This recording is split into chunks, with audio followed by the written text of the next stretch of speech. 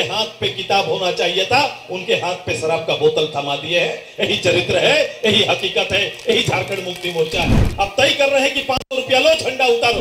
इसका मंत्री भी चूल्हा हड़िया बोलने लगा हाड़ी प्रमुख बोलने लगा है, हमने विषय थमा दिया, बताओ।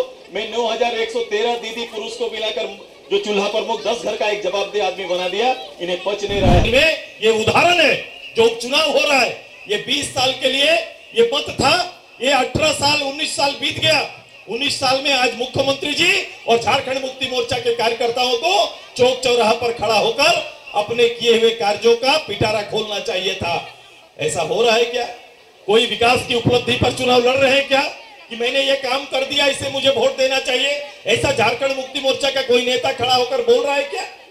ऐसा हो रहा है क्या कहीं पर? नहीं हो रहा है। उस विचार को नगेंद्र बाबू बदल के रख दिए हैं और झारखंड के नौजवान डुमरी के नौजवानों को चौक चौराहे पर खड़ा होकर जिनके हाथ पे किताब होना चाहिए था, उनके हाथ पे शराब का बोतल थमा दिए है। यही चरित्र है, यही हकीकत है, यही झारखंड मुक्ति मोर्चा है। यही मोर्चा है, और यही मोर्चा संभाल रहे हैं। और इन्हीं को दायित्व दिया गया है कि भाई दिखाकर बूथ लेने के काम। मैं पहली बार ऐसा देखा ऐसा आचरण देखा है। राजनीति में इस आचरण का कहाँ तक लोग स्वागत करेंगे, मैं नहीं जानता।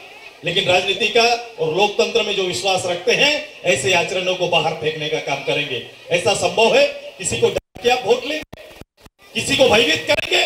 कोई अपने निजी चीज़ से, अपने विचार से पार्टी का झंडा खड़ा कर रहा है तो उसको आप धमकाने का काम कर रहे हैं? अब तय कर रहे हैं कि पाँच सौ रुपया लो, झंडा उतारो। झूठा पिटारा फिर से खोलने के लिए, और मैंने कहा था कि चूल्हा प्रमुख चूल्हा प्रमुख बोलेंगे। अब मुख्यमंत्री चूल्हा प्रमुख चूल्हा प्रमुख बोल रहे हैं। इसका मंत्री भी चूल्हा हड़िया बोलने लगा क्या बोला? हाड़ी प्रमुख बोलने लगा है। हमने विषय थमा दिया। बताओ, मैं 9113 दीदी पुरुष को मिलाकर जो चूल्हा प्रमुख 10 घर का एक जवाबदेह आदमी बना दिया, इन्हें पच नहीं रहा है। हमारा ही नाम जप रहे हैं। आप ही का नाम जप रहे हैं। यही जपते जपते हमने रामगढ़ जीता। अब डूमरी जीतने की तैयारी हम सबका है। यही तैयारी हम हेमंत जी को उसके घर में हराए। हेमंत जी आए और बोले, ये मेरा घर है। ये मेरा घर है। बोले क्या करेंगे? मैंने बोला जाने का रास्ता भी चंद्रप्रकाश चौधरी ही बनाया है।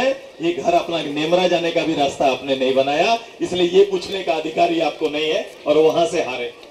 अब डुमरी हराइएगा ना? हराइएगा ना? पक्का तो? आवाज़ जाना चाहिए ना, हराइएगा ना?